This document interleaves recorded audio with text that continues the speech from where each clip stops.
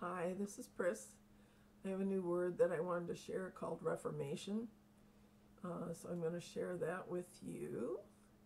And um, it's what happened is that tonight I have a friend that's in the hospital, and so um,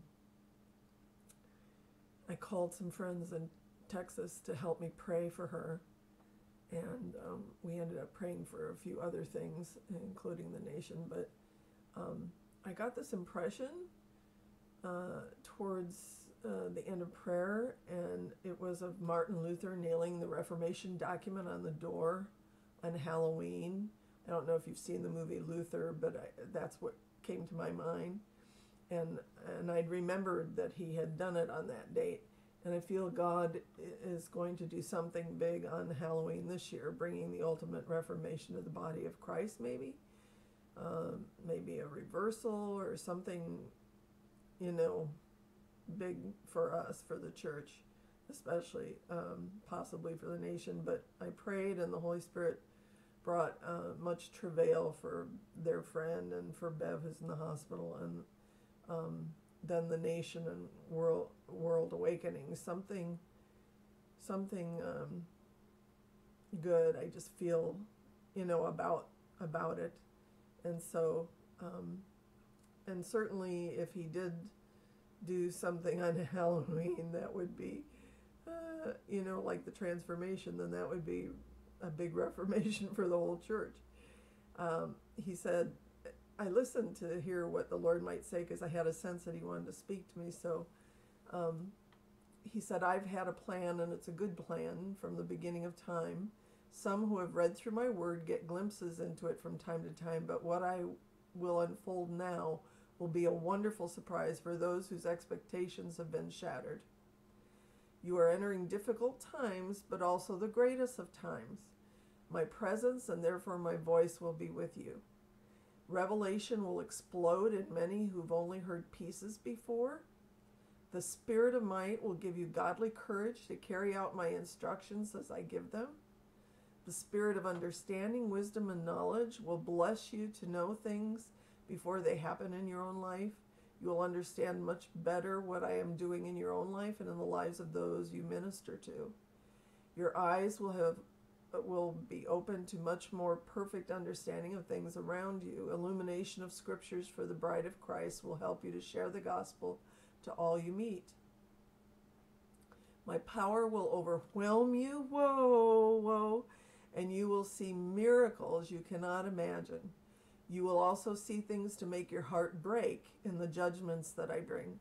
So cling to me, beloveds. Your heart will become the dwelling place of my heart. The mind of Christ will transform all your thinking. You will no longer struggle resisting sin like before because the revelation of my love for you will permeate every cell in your body to the point of extravagant love being known to you in a way you've not known before. The spirit of the fear of the Lord will flood your minds and hearts and will permeate the atmosphere around you so that people will fall down and repent of their sins. My heart in you will make others aware of their lack of heart. They will be convicted and changed as you pray for them. Others will hate you for the light they see in you, but it will not go well for them and if they cur- especially if they curse you. Consequences will be more swift.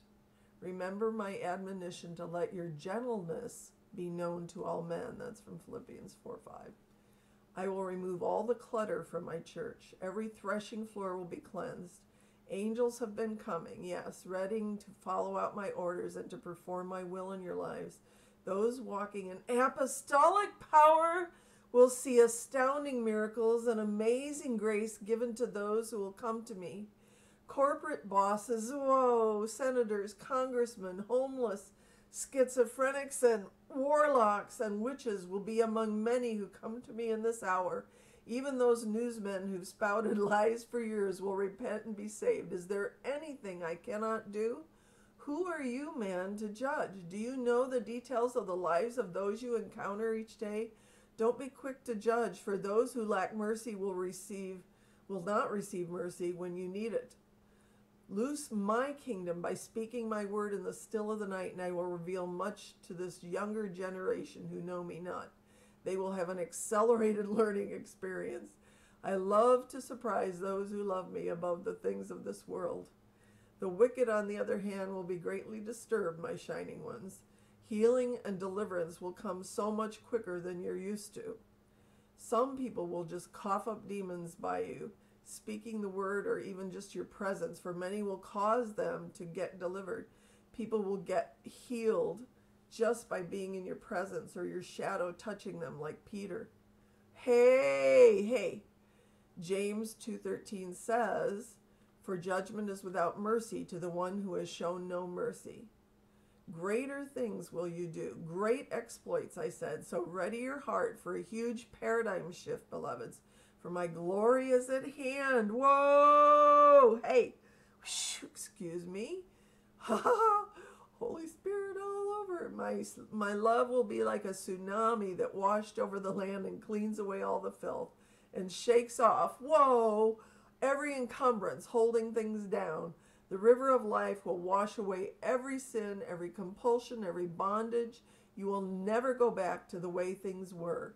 This is not just a makeover, this is a takeover where you become my holy habitation. And that was it. and that's a lot. Pretty awesome.